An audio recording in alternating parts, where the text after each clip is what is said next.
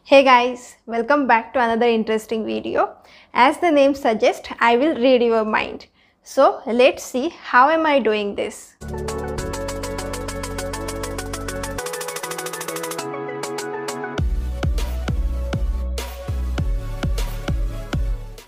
Are you ready? So let's get started. Step number 1. You take any two digit number with distinct digits. That means you can take 23, 41, 91 and so on but you should not take 11, 22, 33 and so on. Have you chosen the number? Now the second step is you just reverse the number. That means suppose in the step number 1 you have taken the number as 27 then you take 72 in the step 2. Now you have two numbers the number which you have chosen and the reverse of that number. Now you just take the bigger number and subtract the smaller number from the bigger number. Now the final step is whatever is your answer you just take the sum of the digits in that number. Have you done all these steps? So it's time to guess the answer. So the answer is 9. Yes, I am sure that the answer is 9. So how am I able to guess your answer? So let's see. It is purely mathematical concept. Now in the step 1 we have taken two digit number right and the digits are distinct. That means A is not equal to B right. Now in the second step we have taken the reverse of this number that means it is BA right?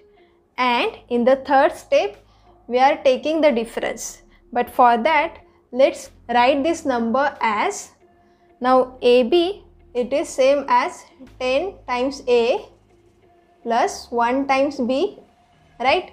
For example suppose you have a number 23 then you can write this number as 10 times 2 plus 1 times 3 right 20 plus 3 is 23 right? And similarly you write this number as 10 times b plus 1 times a right?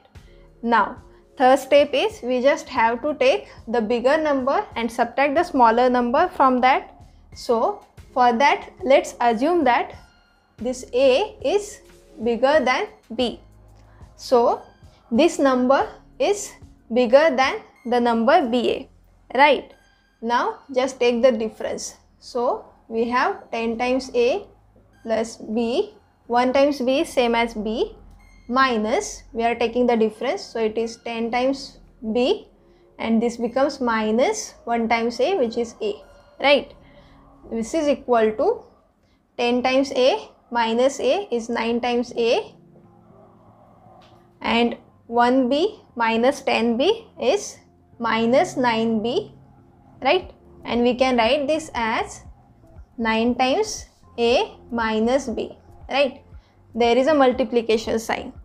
Now we have assumed that this a is not equal to b. That means this a minus b is not 0 so what are the choices for a minus b?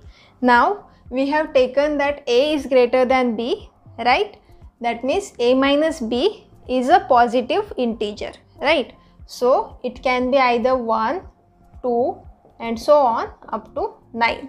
Right. That means this is just equal to 9 times 1, 9 times 2, 9 times 3 and so on up to 9 times 9. Right. That means this list is just 9, 18 and 27 and so on up to 81. Right. Look at these numbers carefully. When you take the addition of the digits in that number then it is clearly 9 right? For example you can take the number 18 so 1 plus 8 is 9 27 2 plus 7 is 9 and so on. 81 8 plus 1 is again 9 I am sure now you have understood that this is not a magic. It is clearly a mathematical concept and it is interesting. And thank you for watching this video. We will meet again in the next interesting video